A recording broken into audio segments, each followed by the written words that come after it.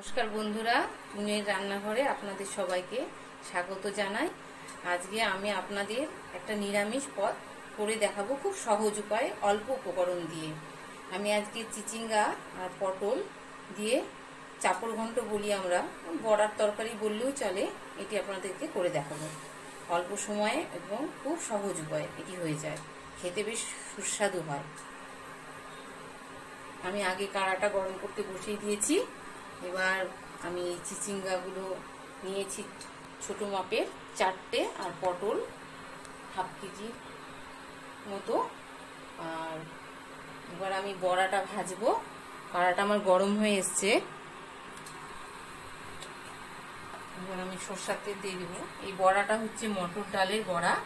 এর মধ্যে একটু হলুদ আর একটু লবণ দিয়ে ফেটিয়ে নিয়েছি।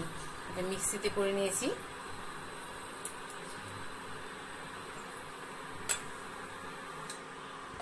তেলটা গরম হলে আমি বড়াটা ভাজবো। বন্ধুরা, আমার তেলটা গরম হয়ে এসছে। এবার আমি এই বড়াটিকে ফেটিয়ে নিয়ে ভালো করে ভাজবো। যেমন বড়া করা যায়, তেমনও করা যায়। জাস্ট একটু বড়াটাকে ভালো করে ভেজে নিলি।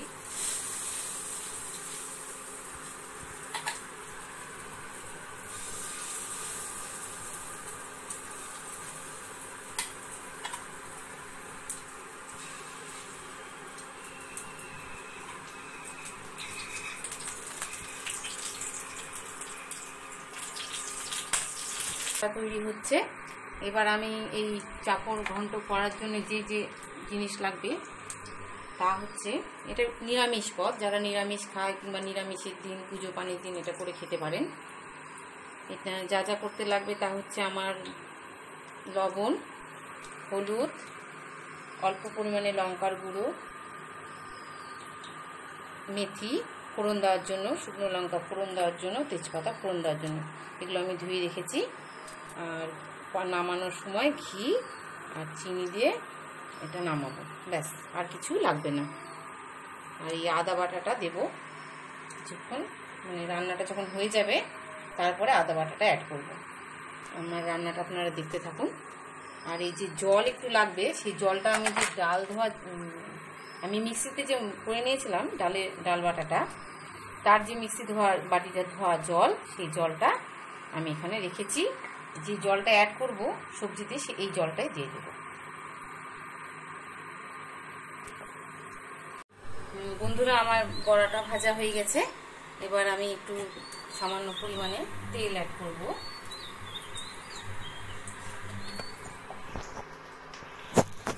এবার আমি তেলটা গরম হলে এর মধ্যে ফোড়ন দেব। ফোড়ন দেব হচ্ছে মেথি, দুটো শুকনো লঙ্কা আর দুটো তেজপাতা। মেথি বেশি পরিমাণে ফোড়ন দেওয়া যাবে না। বেশি দিলে তিতা লাগবে তরকারিটা।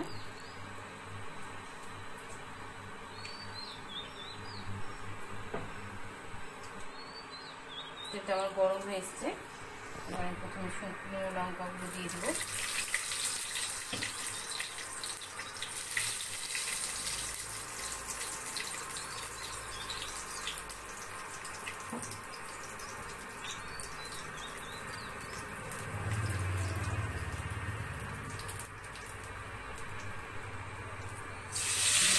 তেজপাতা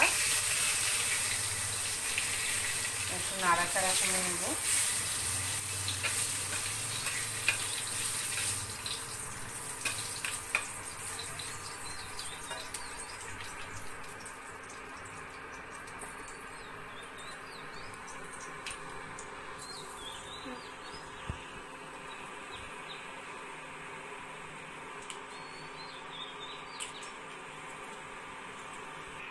এই ছোটো চামচের এই এরম মেথিটা নেব, এই এক চামচের মতন।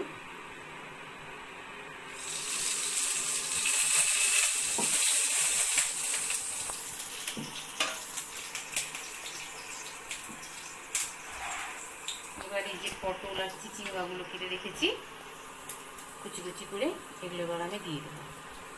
এগুলো ধুয়ে পরিষ্কার করে রেখে দিয়েছি।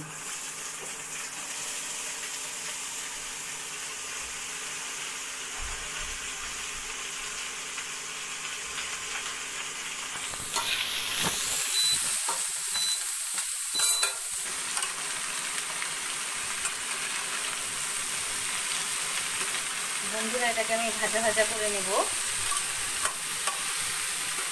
ভাজা ভাজা হয়ে আসবে। তারপরে আমি জল অ্যাড করব। এটা একটু ভাজা ভাজা করে নেব।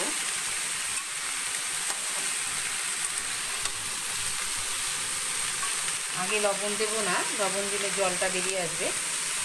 ভাজা ভাজা না করে নিলে কাঁচা কাঁচা একটা গন্ধ করবে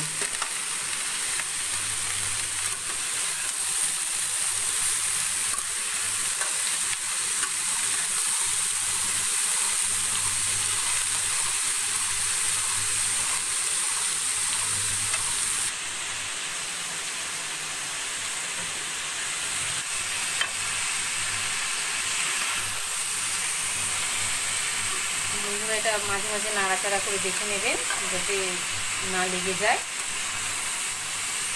ভাজা ভাজা হবে।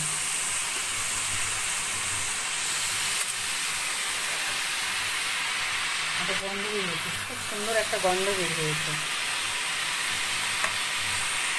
একটু ভাজা ভাজা হবে।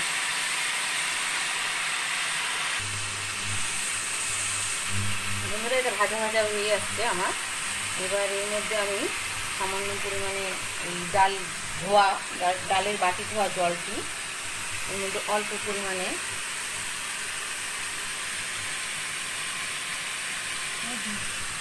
আন্দাজ মতন লবণ, এর মধ্যে থেকে জল বের হয়ে এসছে।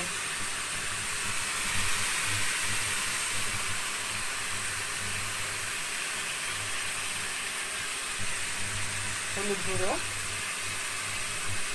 আন্দাজ মতন। অল্প পরিমাণে লঙ্কা গুঁড়ো। জাস্ট অল্প। এটা বেশি ঝাল হলে ভালো লাগে না। আমি শুকনো লঙ্কা দুটো ফোড়ন দিয়ে দিয়েছি।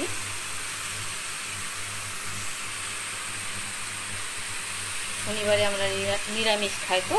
আজকে সোয়াবিন হবে আর এই তরকারিটি হবে আর টমেটোর চাটনি হবে। এবারে জলটি আমি পাড়াতে দিয়ে দেব।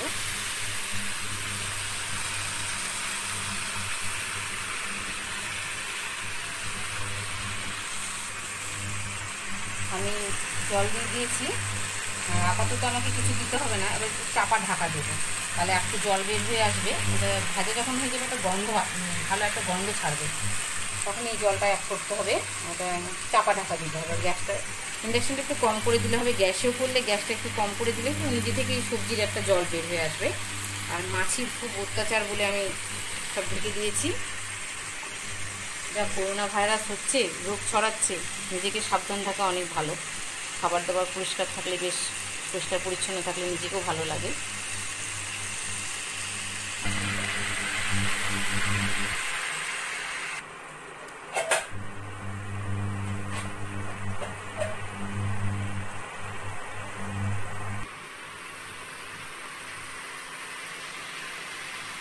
এটা আমার সিদ্ধ হয়ে এসছে।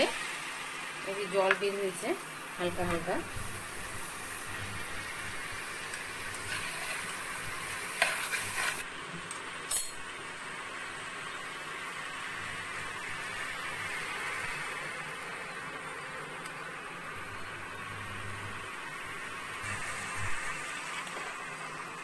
আমি যে বড়াটা আছে, বড়াটা করে রেখেছি, অল্প তেল দিয়ে।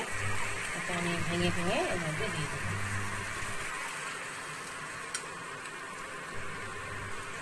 এটা খুব ভালো লাগে খেতে নিরামিষ তরকারি যারা নিরামিষ খায়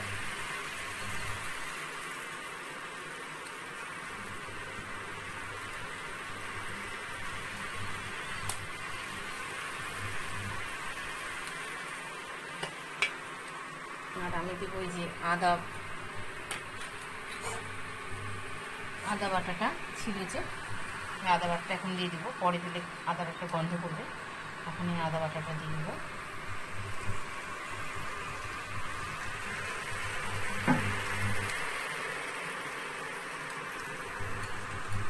এই সামান্য পরিমাণে জলটা দেবো, যাতে বড়াটা সিদ্ধ হয়ে যায় ভালো করে।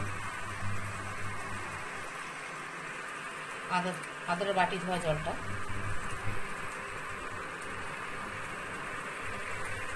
প্রায় প্রায় হয়ে এসছে আমার রান্নাটা। এবার একটু চাপা ঢাকা দিয়ে দেবো।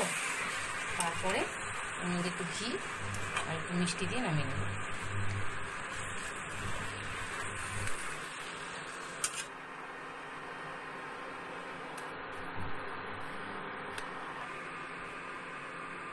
এটা আমার হয়ে এসছে। বড়াগুলো আমি ভেঙে দিয়ে দিয়েছি একবারে। এটা মাখা মাখা হয়ে যাবে। এর মধ্যে এবার আমার প্রায় রান্নাটা কমপ্লিট হয়ে এসছে। অল্প পরিমাণে মিষ্টি আর ঘি অ্যাড করব আমার যখন শেষের দিকে রান্নাটা হয়ে আসবে, তখন গ্যাসে করলে গ্যাসটা খুব ধিমে করে দিতে হবে, ইন্ডাকশানে করলে সবচেয়ে কমে ইন্ডাকশানে ইন্ডাকশানে রান্নাটা করতে হবে। চিনি দেবো আমি। চিনিটা একটু বেশি পরিমাণে দিতে হবে, একটু মিষ্টি মিষ্টি হবে, নিরামিষ তরকারি তো, একটু মিষ্টি মিষ্টি হলে বেশ ভালো লাগবে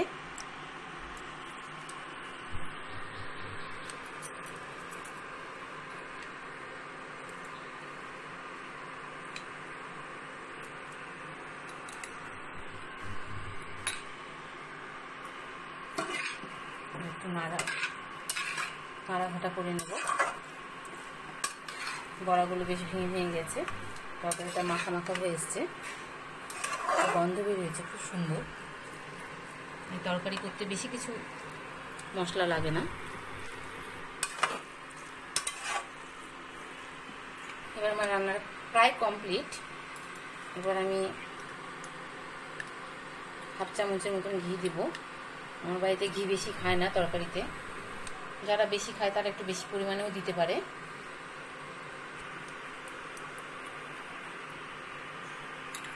আমার রান্নাটা হয়ে এসছে। এবার এটাকে সার্ভ করা, করে আপনাদের সামনে দেখিয়ে দেবো কেমন হয়েছে। বন্ধুরা, আমার রান্নাটা হয়ে গেছে। এই রান্নাটি যদি আপনাদের ভালো লেগে থাকে, তবে আমার এই রান্নাটি, ভিডিওটিকে, রান্নার ভিডিওটিকে লাইক করবেন। চ্যানেলটিকে সাবস্ক্রাইব করবেন ও বন্ধুদের সাথে শেয়ার করবেন। দয়া করে লাইক করবেন। নমস্কার।